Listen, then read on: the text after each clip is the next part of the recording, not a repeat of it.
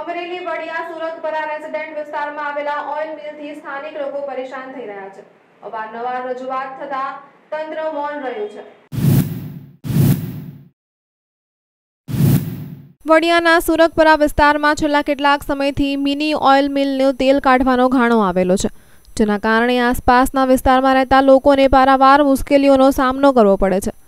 વિસ્તારના લોકોનું કહેવું છે કે તેલના મિલ ધાણાના લીધે નાના બાળકો અને વૃદ્ધોને દિવસ દરમિયાન ઉડતી ખેપટોના લીધે ખૂબ જ તકલીફ વેઠવી પડે છે. પ્રદૂષણ તેમજ ધુમાડો અને ખેપટોના કારણે સ્થાનિક લોકોને શ્વાસ લેવામાં પણ તકલીફ પડે છે. તેમજ સતત ઓઇલ મિલ શરૂ હોવાને કારણે ઘરોમાં ભૂકંપ જેવી ધ્રુજારીઓ સતત રહે છે, જેના લીધે નાના બાળકો અને વૃદ્ધોને પૂરતા પ્રમાણમાં ઊંઘ પણ થતી નથી. ઊંઘ ન થવાને કારણે સ્થાનિક લોકો અવારનવાર બીમારીનો ભોગ બને છે. ત્યારે તેઓમાં અંગે વડિયા મામલતદારને લેખિત રજૂઆત ફરિયાદ કરવા છતાં અમોને ન્યાય મળતો નથી. અહીંના વિસ્તારના લોકોએ બે મહિના અગાઉ વડિયા મામલતદારને લેખિત રજૂઆત કરેલ છે. તેમજ આ અંગે અમરેલી જિલ્લા કલેક્ટર, જિલ્લા પોલીસ વડાને પણ લેખિત રજૂઆત અને ફરિયાદ કરેલ છે, જેને પણ બે મહિના ઉપરનો સમય થયો છે. છતાં પણ અમારો પ્રશ્ન હલ થયો નથી. આજે ફરીથી વડિયા મામલતદારને લેખિત રજૂઆત કરવા મહિલાઓ ન્યાય માટે પહોંચી.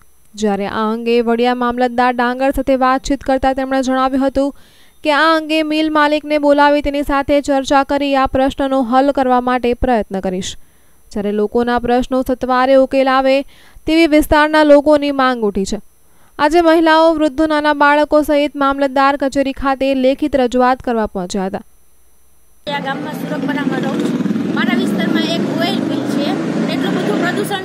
ત્યાં રહી ન શકતા. મારો એક નાની બેબી છે મારા નાના બા બા છે ગઈઢા બા છે. એટલું બધું પ્રદૂષણ છે. હવારમાં ઉઠીને તો આખું પણ નથી ખુલતી. એટલું બધું પ્રદૂષણ ને બે મહિના પહેલા મેં મામલતદારમાં છે ને અરજી આપેલી છે. અને તો પણ આ લોકોએ કોઈ કાંઈ પણ કાર્યવાહી કરેલ નથી ને અત્યારે મેં પાછા છે ને રજૂઆત કરીને સરને છે ને લેખિત આપેલી છે. એટલે ત્યાં શેના કારણે તમે રહી શકતા નથી?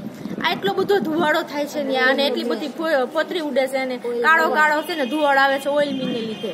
ઓકે. અગાઉ મામલતદારને રજૂઆત કરેલી હતી? હા બે મહિના પહેલા કરેલી છે પણ કોઈ પણ કાર્યવાહી આ લોકોએ કરેલી જ નથી.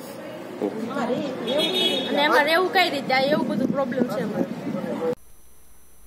પરેશ પરમાર સાથે એનએસ ગુજરાત ન્યૂઝ અમરેલી.